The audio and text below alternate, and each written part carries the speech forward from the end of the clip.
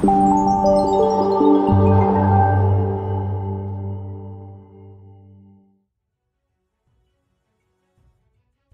şəhəri Sabunçu rayonu Pirşağı qəsəbəsində bir nəfər dənizdə boğulub. Doğru xəbər Azərbaycan Qafqaz İnfo istinadən xəbər verir ki, bu barədə Fövqəladə Hallar Nazirliyinin Böhran Vəziyyətlərini İdarə Etmə Mərkəzinə məlumat verilib.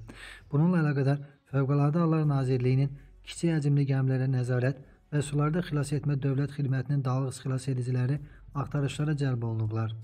Hazırda axtarışlar davam etdirilir. Əlavə məlumatlar veriləcək.